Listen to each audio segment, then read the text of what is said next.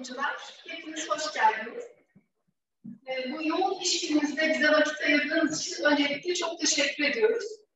Event olarak gerçekleştirdiğimiz E-Akademi toplantılarının bugün 17.sini düzenliyoruz. E, bugünkü konuşmacımız Karadeniz Teknik Üniversitesi Enfeksiyon Ana Enfeksiyon Hastalıkları Ana Bilim Dalı Başkanı Profesör Doktor Selçuk Kaya. Bizlere HIV enfeksiyonundaki en önemlilerden en önemli konulardan birini anlatacak. E, gündemimizde de bugünlerde oldukça ön planda yer alıyor. E, profilaksi yaklaşımları. E, buyurun Selçuk Hocam.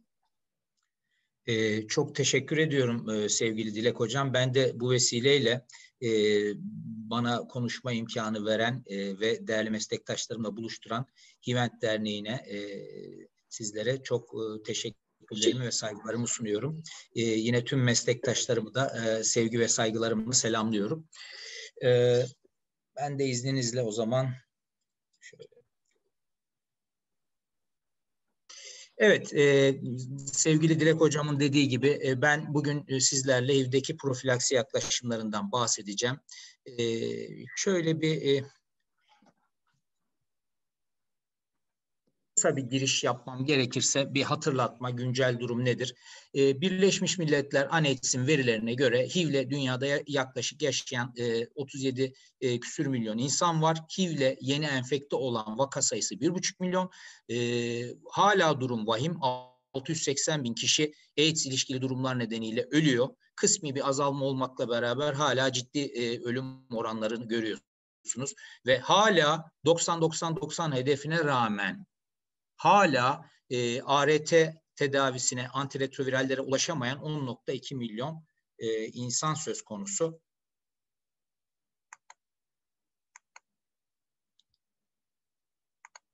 E, Dünya Sağlık Örgütü'nü biliyoruz. E, hedefler hep e, yüksekti. ANETS 2020'de 90-90-90 e, e, bundan sonrası işte bir 5 sene sonrası 95-95 e, gibi giderken Dünya Sağlık Örgütü de 2030'larda zero enfeksiyon gibi bir hedeften bahsediyor. Hedefler güzel ama hani uygulanabildikleri mümkün mü? Hani bugün dünyanın belli başlı bölgeleri dışında bu hedeflere ulaşabildiğimizi söyleyebilmemiz çok da mümkün değil sanırım.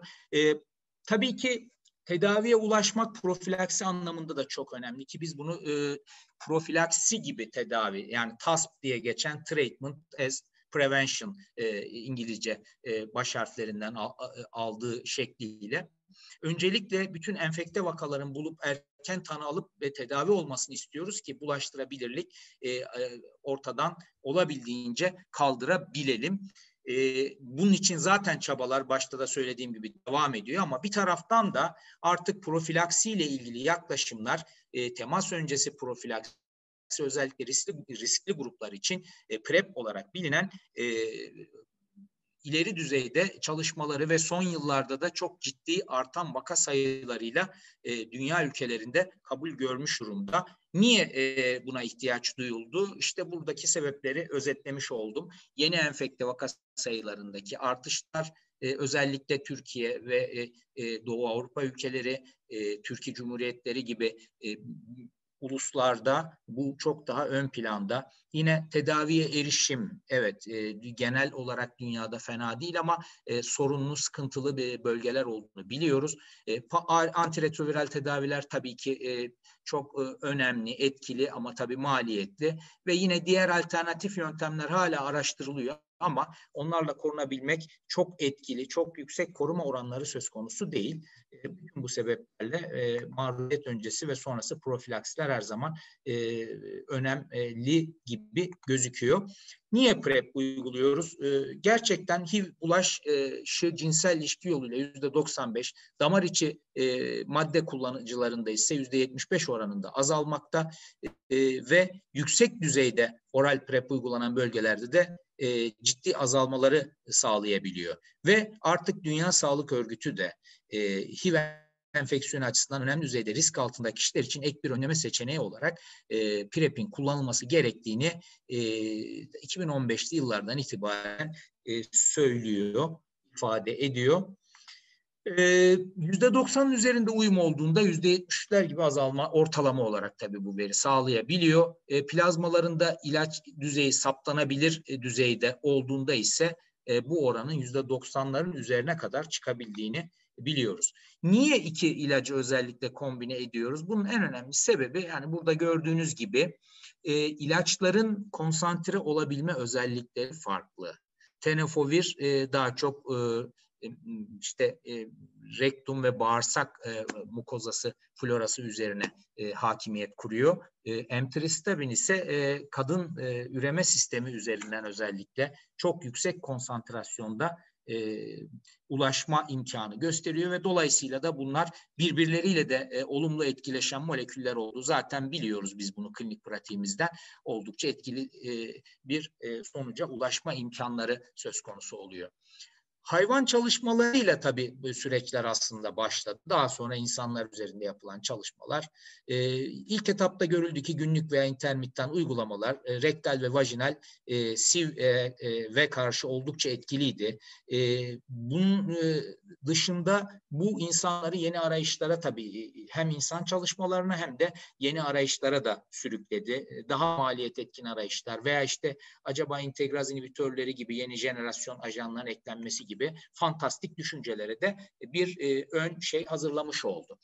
Konuyla ilgili önemli çalışmalar var tabii insan çalışmaları. Bunların çoğunluğu e, e, erkeklerle seks yapan erkekler. Ben kısaca e, MSM diyeyim, e, öyle ifade edeyim. E, MSM grupta ağırlıklı olarak işte bunlara ön ayak oluşturan çalışmalardan biri de IPREX çalışması. E, seronegatif e, 2500 civarı e, erkek veya transgender MSM e, iki kol e, özellikle plasebo uygulamasının e, plasebo antiviral uygulamasının etkinliğini plasebo ile karşılaştırdı ve HIV bulaşında yüzde 44'lük bir azalma olduğu, ciddi yan etkilerin her iki grupta benzer olduğunu, bir miktar e, bulantı gibi yan etkiler o, olabildiğini ama özellikle de işte başta da söylediğim gibi gösterilebilir kan düzeyleri varsa bu koruyuculuk güçlü ilişkili olduğunu ortaya koydu. Keza e, İngiltere menşeli Prut çalışması Avrupa'nın pilot çalışması olarak biliniyor. 13 ev kliniğinden 545 yine MSM hastası üzerinden son 3 ayda korunması ana seks ve e, işte e, TDF, e, emtricitabin kontraindikasyonu olmamasını baz aldılar. Günlük oral ve bir de gecikmiş PrEP e, uygulaması yapıldıydı burada. Gecikmiş kola göre %86 HIV risk azalması olduğunu ifade eden önemli bir çalışmaydı. Gene IPERGUIDE çalışması e, çift kör randomize 400 MSM üzerinde yapılmış. E, yine e, TDF e, FTC, seks öncesi ve sonrası oral ve plasebo grubu oluşturdu. Ortalama 9.3 aylık bir takip süreci söz konusu. Bir kol 199, diğer kol 201 plasebo kolu. E, tedavi e, profilaksi kolunda iki hastada HIV pozitifliği varken plasebo kolunda e, bariz olarak e, fazla sayıda hastada HIV serokonversiyonu tespit edilmişti. Ciddi yan etkiler ilaca rağmen her iki grupta benzerdi. E, tabii ki GIS ve renal yan etkiler tedavi kolunda anlamlı olarak biraz daha yüksek bulunmuştu. Bu Molina ve arkadaşlarının çalışmasıydı. Yine EPTN 067 adapt e, çalışması e, diyebiliriz. E, Birçok farklı ülke var burada. Afrika ülkeleri aynı zamanda Amerika, Harlem, e, 500'ün üstünde bayan transgender ve MSM'den oluşmaktaydı. Çalışmanın amacı günlük PrEP'le intermitten uygulanan PrEP'in kullanım etkinliğini e, karşılaştırıp uyum ve ilaç kan düzeylerine de yine beraberinde bakarak ilişki kurulması hedefleniyordu.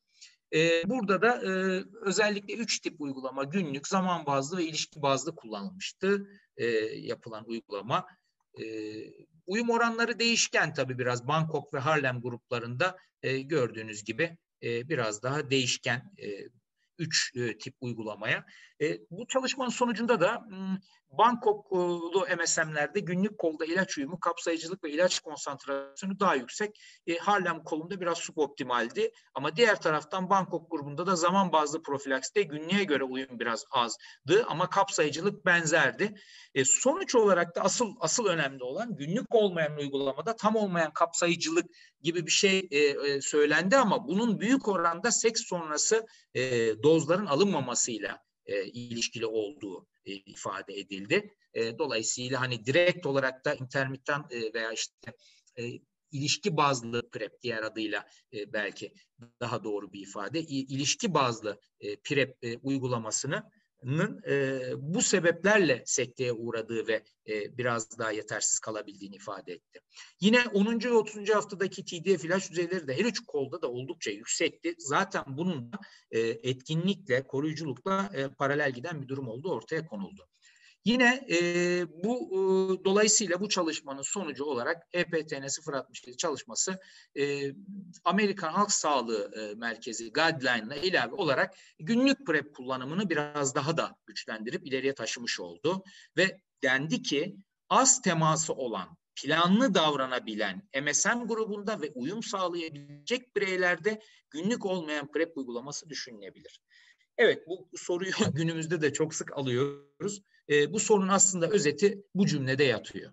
Az teması varsa kişinin planlı davranabilecekse MSM'ler arasında ve uyum gösterebilecekse günlük olmayan PrEP e, ilişki öncesinden başlayıp sonrasında işte 2-1-1 şeması denilen şema e, bu grupta önerilebilir. Yine e, bir başka e, çalışma, Çin çalışması, daha yeni bir çalışma 2021. Gerçek yaşam verilerine bakılıyor. Günlük PrEP, istek üzerine PrEP ve kontrol grubu ele alınıyor.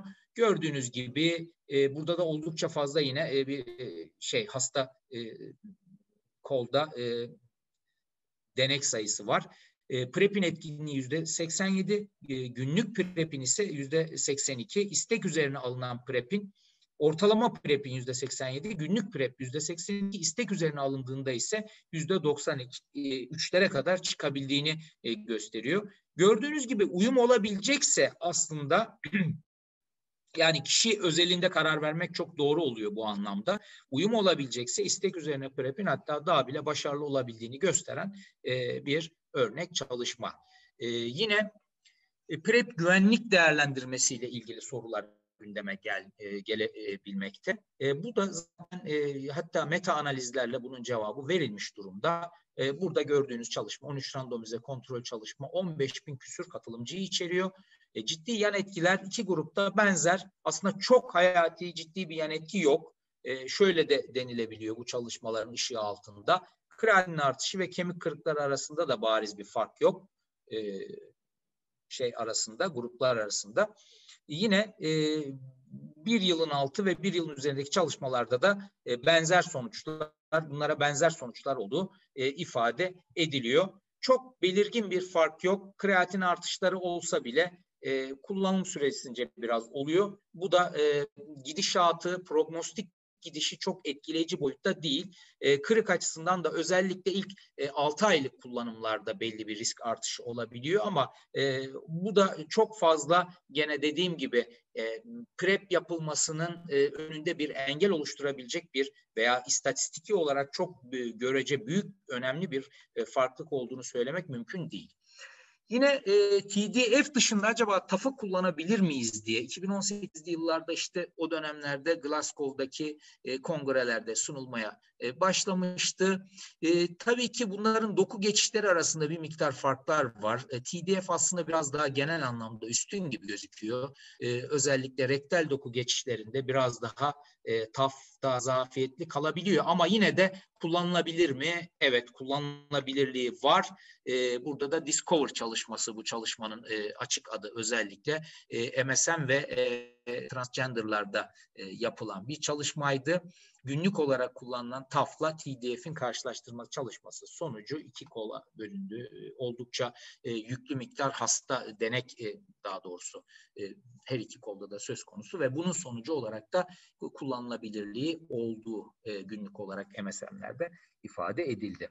Yani insanlarda bu PrEP çalışmaları işte bahsettiğim gibi bir sürü çalışma var. Bunların hepsi PrEP için bir ön ayak oluşturdu ve günümüze kadar geldi. Günümüzde de güncel kılavuzlar bütün bu çalışmaların ışığı altında ne diyor diye şöyle bir baktığımızda EAX 2021 cinsel aktif bireyler için günlük partnerlerle ya da viral yükü baskılanmamış HIV pozitif partnerlerle ilişkisi olan ve düzenli kondom kullanmayan HIV negatif MSM erkekler ve trans bireyler için kullanımını öneriyor. Yine çoklu partneri olan ve düzenli kondom kullanmayan HIV negatif heteroseksüel kadın ve erkekler için kullanımını e, öneriyor.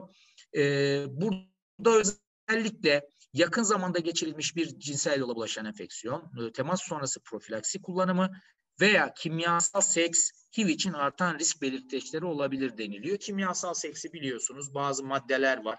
İşte metan, e, metamfetamin gibi, G gibi. E, bunları kullanıldığı zaman bunlar inanılmaz bir ofori ve kişide ve cinsel istek artımı e, yapıyor. Dolayısıyla e, HIV enfeksiyonunun edinilmesi açısından artmış risk oluşturuyor. Yine CDC'nin 2021 taslak önerilerinden biraz bahsedeyim. Cinsel aktif erişkin ve adoleskanlar için e, ve damar içi ilaç bağımlıları için iki kategoride değerlendiriliyor. E, ilk grup için son 6 ay içinde anal veya vajinal cinsel ilişki öyküsü olması ve e, şu e, aşağıdakilerden herhangi birisi olması profilaksi için kişiyi aday duruma sokuyor. Nedir onlar? HIV pozitif cinsel partner özellikle partnerin HIV viral yükü bilinmiyorsa ya da saptanabilir düzeyde ise e, yine profilaksi uygulanması. Yine son 6 ay içinde bakteriyel e, CEB E ya da CEBH öyküsü olması e, bir de e, düzensiz kondom kullanımı ya da kondom kullanımının olmaması.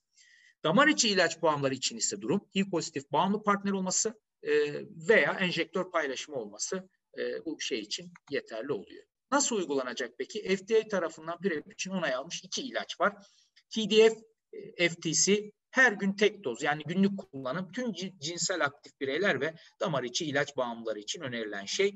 Yalnız ilk temastan 7 gün önce alınması ve son temastan 7 gün sonra kullanılması e, önerilen bir şey e, olduğunu söyleyebilirim. E, TAF ve e, e, TAF FTG kombinasyonu için yine günlük tek doz olarak erkekler ve trans e, kadınlar için e, önerilebildiğini e, de e, ifade edebiliriz.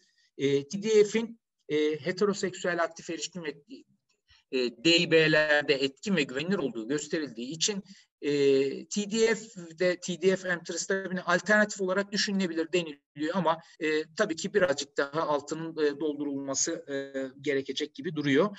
E, ve özellikle de e, MSM'lerde de etkinliği çok bilinmiyor. Bu da bunun tek başına kullanımını sınırlandıran bir durum oluşturuyor.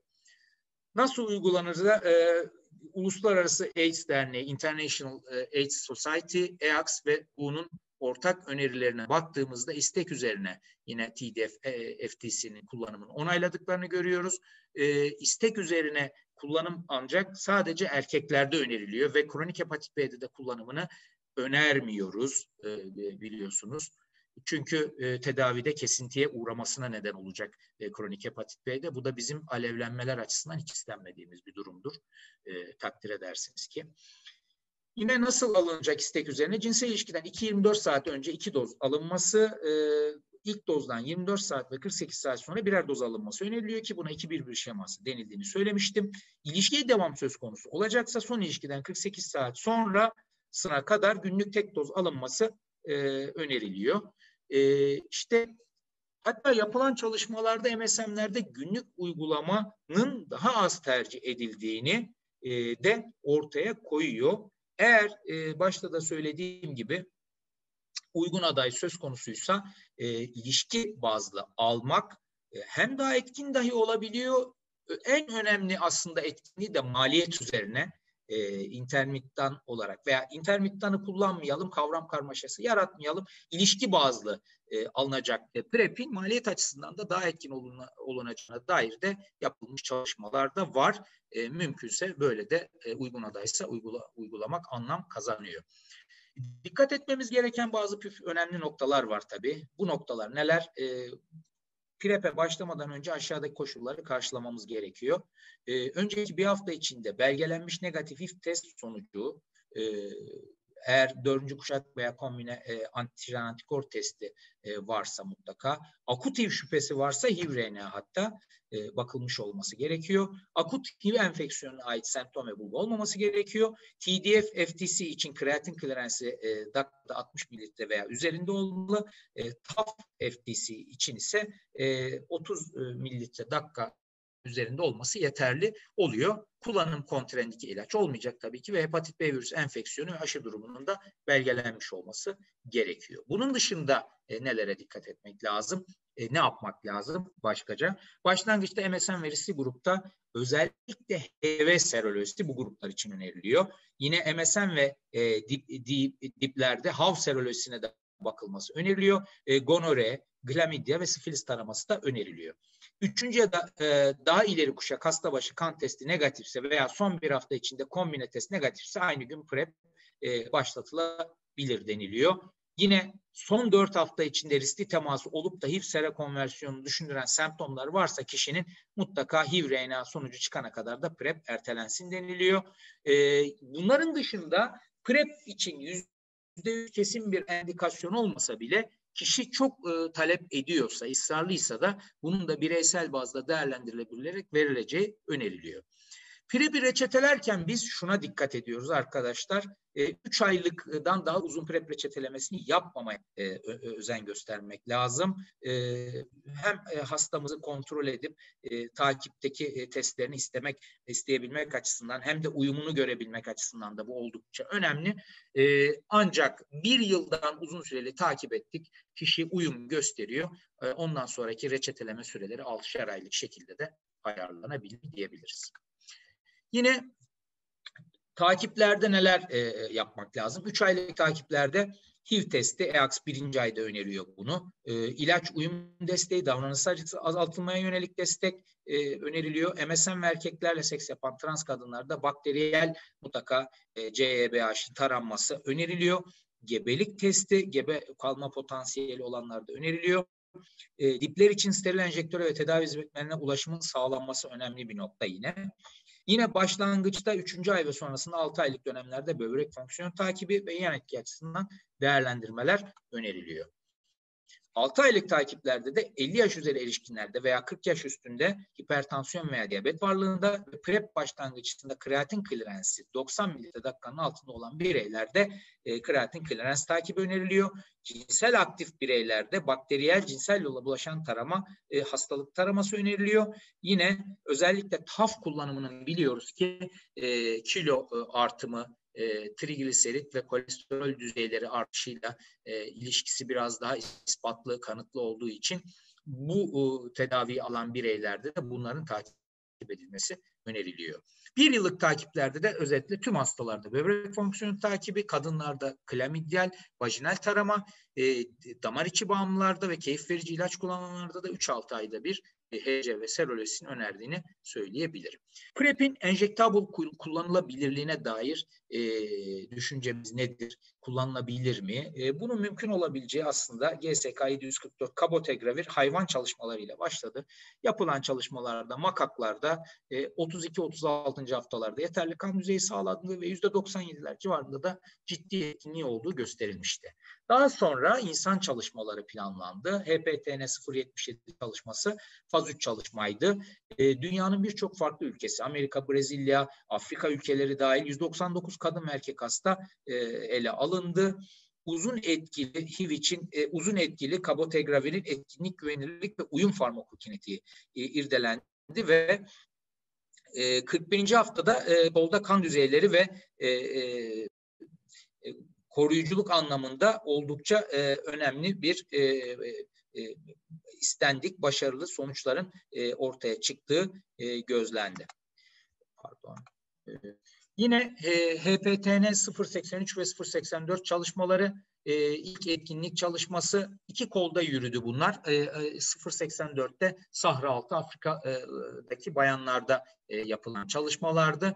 Bu çalışmalar bize gösterdi ki, ki en son Necm'de yayınlandığı e, kabotegravir ile e, tenofovir emtricitabin karşılaştırması sonucunda e, kabotegravirin e, özellikle 083 çalışmasında pardon 0.84 çalışmasında istatistik olarak daha da anlamlı bir şekilde e, etkili e, e, TDF, e, FTC'ye kıyasla etkili olarak daha bariz olarak daha etkili olabildiğini de ortaya koydu.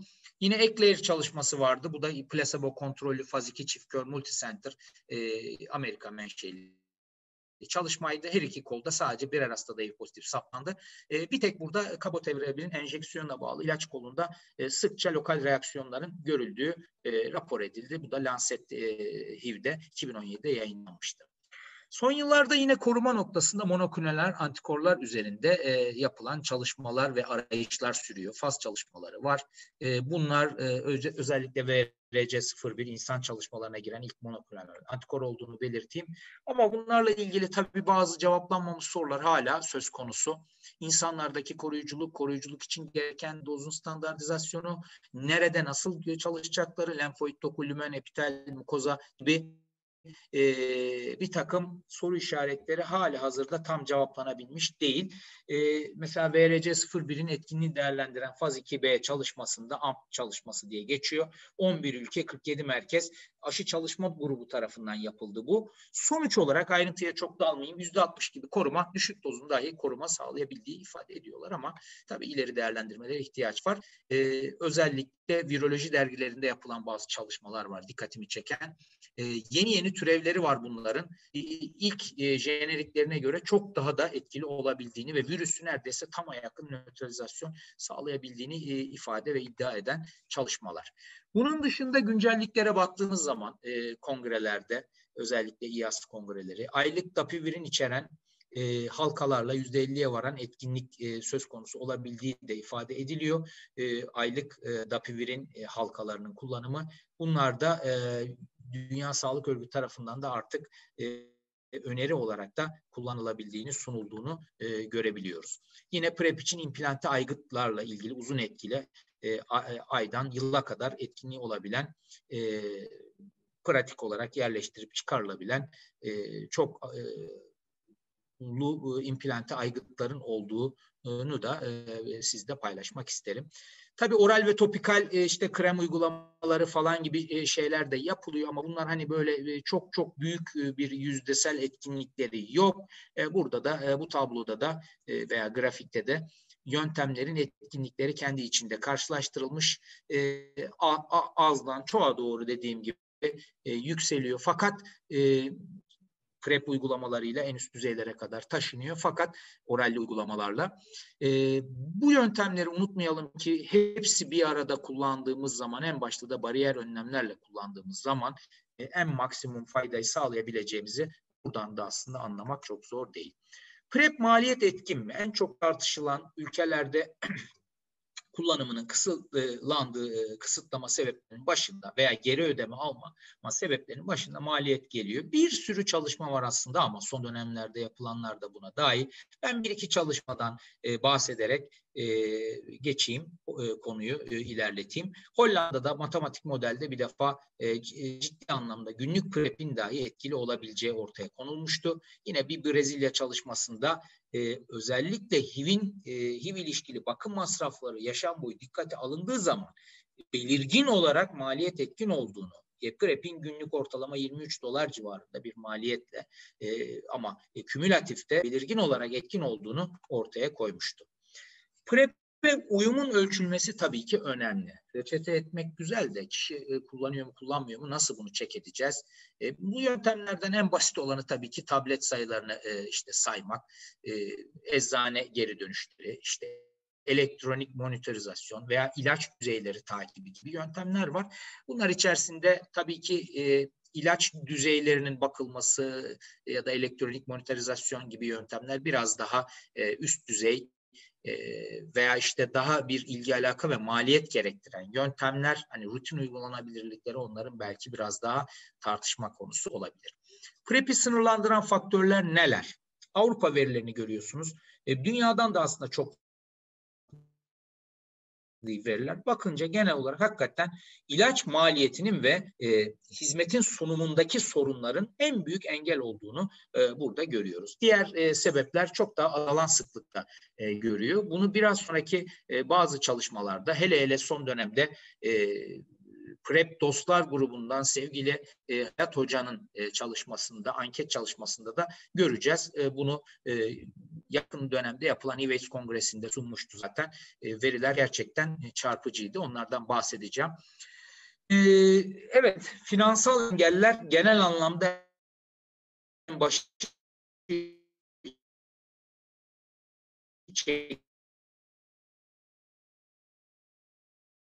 Biz bununla ilgili de bir Ekimel kitapçı oluşturduk e, online. Klinisyenler ve politikaların defansı gibi sorunlar önemli engeller oluşturuyor. Arttırmak için uyumu dediğim gibi e, SMS yoluyla PrEP tablet alım, seks monitorizasyonu gibi şeyler yapılabilir. Haftalık kontroller olabilir ve düzenli vizitlerle e, hastalara, e, hasta demeyeyim de e, kişilere e, gerekli önemli mesajları verebiliriz.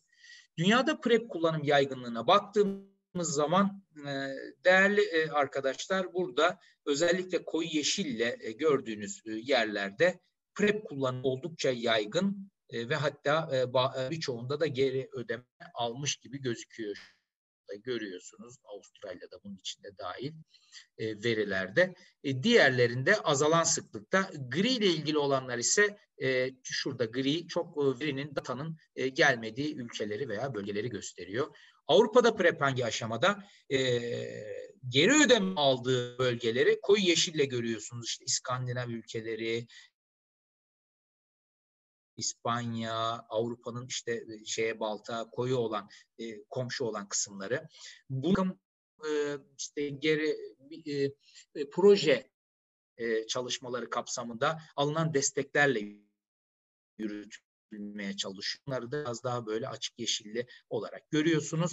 E, bazılarında ise e, ödeme kapsamında değil hatta veride e, olmayan dediğim gibi de e, birçoğunda da. Avrupa'da PrEP ilgili iyi işleyen konular neler? Özellikle e, Almanya, Fransa, İskoçya, Norveç gibi, Belçika gibi ülkelerde e, ne yapılıyor? E, devlet toplum işbirliği var burada ve ilacı e, bazılarında da online temin edebiliyor e, kişi. Bu oldukça e, olayın önünü açan ve kolaylaştıran bir hadise. Yine vaka bazlı ya da temas bazlı profilakside e, büyük oranda zaten anlatmıştım, kabul gördüğünü paylaşmıştım sizlerle. Türkiye'de PrEP ile ilgili durum ne diye baktığımızda e, ülkemizde de yeni olarak çok yeni ruhsat almış bu endikasyonda 4 tabletlik e, Truvent ürünün ilgili e, firma tarafından e, kullanıma e, sunulmuş durumda. Tabii ki daha henüz ye, e, yeni e, bir e, ürün yani yeni girmiş durumda bu endikasyonla. Henüz geri ödemesi yok ama e, bu ürünün ülkemize kazandırılmasının bile önemli bir, e, oldukça önemli bir aşama olduğunu e, düşünüyorum. E, riskli davranışlara PrEP'in etkisi var mıdır gibi sorular gelebiliyor MSM grupta. E, bununla ilgili bir meta analizi paylaşayım sizle. 16 gözlemsel ve bir açık etiketli çalışma değerlendirildi bir arada. Ve görülmüş ki e, maalesef PrEP kullanımı ile rektal klamidyal enfeksiyon sıklığında e, önemli bir artış oluyor. PrEP kullanımı insanlar üzerinde yalancı bir güven hissi oluşturabiliyor arkadaşlar. E, bu noktaya dikkat etmek lazım. Özellikle kondom gibi bariyer önlemlerinin kullanımına e, olan uyumu da düşürebiliyor maalesef ki bu çalışmalarda e, bunu gösteriyor. E, fakat iyi tarafından bardağa biraz hani dolusundan da bakarsak PrEP kullanımı e, cinsel yola bulaşan hastalıklarla ilgili testlerin kullanımını da arttırdığı Amerika Birleşik Devletleri e, anket çalışmalarında e, da bu da karşımıza çıkan sevindirici olan bir taraf. Biz sağlıkçılar acaba PrEP durumuyla ilgili bilgi düzeyimiz nedir diye bununla ilgili bir çalışma yapılmış. E, burada görüyorsunuz MSM'ler e, sağlıkçılara göre e, çok daha e, bu konuda e, bilgi ve, ve, birikimlerinin e, çok daha e, iyi düzeyde olduğu maalesef ki e, ortaya çıkıyor. Evet, e, bahsetmiş olduğum e, PrEP, e, hekim, siz hekim arkadaşlarımıza e, dönelik pratik bilgileri içeren el kitapçığını burada görüyorsunuz. Değerli hocalarımızın önemli katkılarıyla hazırladık ve PDF haline bu adresten, ilgili adresten ulaşabiliyorsunuz full text olarak. Ve yine yap, e, yapılmış olan e, sevgili e, Hayat hocamızın e, uyguladığı ankette e, gördük ki e, öncelikli olarak e, enfeksiyon hekimlerine uygulandı. 140 hekime bu anket. E, e, MSM'lere dönük olarak e, özellikle hekimlerin düşündüklerini ağırlıklı yüzde 57'lik grup, yüzde 47 serodiskordan çiftler için, yüzde 21 ilaç bağımlıları için kullanılabilir olduğunu, e, yüzde 42 seks çalışanları, yüzde 35 de e, hepsi için e, efektifle kullanılabileceğini e, ifade etmiş durumda. Peki e, uygulamanın önündeki görülen e, hekimler tarafından en önemli engeller nelerdir e, diye bakıldığında e, sıfır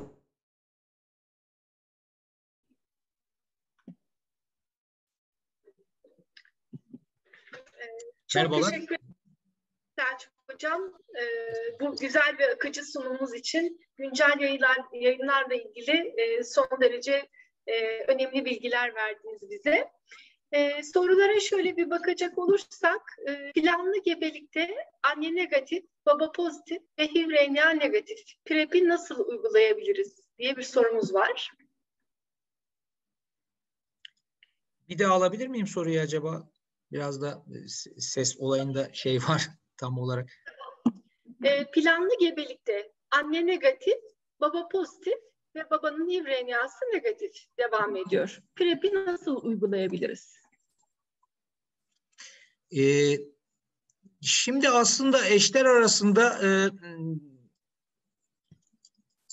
bir e, eşlerden pozitif, seropozitif eş eğer antiviral tedavi altındaysa e, ve viral yükünü negatifleştirebiliyorsak e, e, ve en az 6 ay süreyle bu negatifliği, supresyonu sağlayabiliyorsak temas sırasında aslında e, çok e, bir PrEP endikasyonu da söz konusu değil bu noktada. Yani burada yüzde yüz bir PrEP endikasyonundan bahsedemeyiz. Hı. Ama e, bireylerin talebi olması durumu olursa e, gebelik durumunda e, ilgili olarak söyleyeyim. Gebelik durumu için e, kullanılabilirliği var. Gebelik kategorisi biliyorsunuz e, ilgili ilaçların işte B kategorisi genellikle e, birçok antiviral zaten B ve C kategorisinde e, kullanılabileceği, kullanım açısından bir sakınca olmayacağı ifade ediliyor. Bu yönüyle böyle yani gebelik yönüyle böyle ama diğer taraftan da supresyon sağlandığı zaman koruma açısından çok yüksek riskli bir durum söz konusu olmamış oluyor zaten ilgili vaka için. Ee, DHS yani Amerikan rehberinde eski e, sayılarda, daha eski sayılarda aslında bu e, aşamada da e, PrEP öneriliyordu ama güncellenen rehberlerle birlikte bu bilginin kalktığını gözlemledik bizde. Bizde Doğru. Etfal'de olan sevgili Alper'in çok fazla e, deneyimi vardı. O PrEP uyguluyordu dört günlük bir e, süreyle. Ama sonrasında rehberlerde kalktıkça o da sanırım bu uygulamayı sonlandırdı. Ee, şu anda bilmiyor yani eğer e, fibrenial supresi ise ve yeni bir partner de yoksa ortamda. Yoksa evet. Bir başka soru hasta yerine kişi deme ve doğru dil özeliniz için teşekkürler demiş öncelikle. E, PrEP'in diğer cinsel yolla bulaşan hastalıkların görülme sıklığını artırdığını söylediniz. Bu kısa dönem verisi mi yoksa ilk dönemlerde bir artış görüldükten sonra orta uzun vadede düşüş görülüyor mu? Aslında şöyle e, bu konuyu biz İveys Kongresi'nde de tartıştık. E, yani PrEP'ten de bağımsız olarak aslında şunu söyleyebiliriz. Ki e, bir münazara konusuydu bu. E, Hüsnü Hoca ile tartışmıştık. E, ben HIV cinsel yolla bulaşan hastalık sıklığında e, HIV'de, HIV'in de dahil olduğu son dönemde e, ve yeni edinilen enfeksiyonlarda azalma var e, diyordum. O artış var diyordu. Ama e, zaten gördük ki e, epidemiyolojik veriler de kongrenin ilk gününde tartışıldığında e, bir azalma olduğu gerçekten seçilmiş e, ülke veya bölgeler dışında yeni edinilen enfeksiyonların azaldığını diğer cinsel temasla bulaşan hastalıklarda da aslında bir azalma olduğunu gösterdi. E, tabii ki aksinle ilgili bazı e, münferit çalışmalar var ama e, olayın bütününe baktığımız zaman çerçevenin e, bir e, azalma olduğunu söyleyebiliriz. Ama PrEP ile ilgili tüm hemen hemen e, rehberlerin ve otörlerin de yani dikkatle e, üzerinde durul, durması gereken e, söylediği konu e, hakikaten hani kondom kullanımı, e, bariyer önlemlerin kullanımına uyumu azaltabilme riskleri. Buna dikkat edilmesi ve mutlaka hani e, bariyer önlemlerle birlikte kullanılırsa bu etkinin artık e, maksimum düzeyde e, olacağı. Bu da gayet hani aşikar ve mantıklı bir beklenti. Yani çalışmalarda zaten bunu gösteriyor. E, böyle yapmak lazım elbette ki. Yani, yani şuna benziyor. Şimdi aşı olduk. Covid'de yansıtalım aynı soruyu. Aşı olduk. Maske takmayalım mı? Tabii ki aşı olduk ama maske de e, takmamız, diğer önlemlere de dikkat etmemiz lazım. Aynı mantık aslında. Evet. Teşekkürler. Bir başka soru. E, riskli bireylerde isteğe bağlı kullanımda kontrol sıklığı ne olmalı? Kişiyi görme sıklığı ee, Selçuk Hocam. İsteğe bağlı e, bireylerde e, e, güzel bir soru. E, yani bir defa e, mutlaka e, e, PrEP alan bireylerde e, bir aylık e, ve üç aylık e, periyotlarda e, özellikle e, bir şey yapılması öneriliyor. Yani e, tekrar HIV testlerinin e, takip edilmesi, söyledim diğer e, cinsel yolla bulaşan e, hastalıklar özellikle MSM e, gruplarda e, damar içi e, madde bağımları ve e, MSM'lerde bilhassa HCV açısından da hatta e, takip ve dikkat edilmesi e, öneriler arasında yer alıyor bu şekilde. Peki. Ee, çok teşekkür ediyoruz tekrar e, Selçuk Hocama bu güzel sunum için. E, ben sunumların tekrarını derneğimizin adresinden e, tekrar olarak izleyebileceklerini hatırlatmak istiyorum katılımcıların. hivis.com'dan sunumları bulabilirsiniz. E, bundan sonraki toplantılarımızda e, gelecek üç toplantıda fırsatçı enfeksiyonlar konusunu ele alacağız. E, bir sonraki toplantımız e, toksoplazmoz ve PCP. Moderatör Profesör Doktor Meliha Meriç Koç. Konuşmacımız da doçent doktor Birgül Mete. Hepinizi bekliyoruz. Çok teşekkürler. Ben teşekkür ediyorum. Tekrar iyi günler diliyorum. Sağ olun.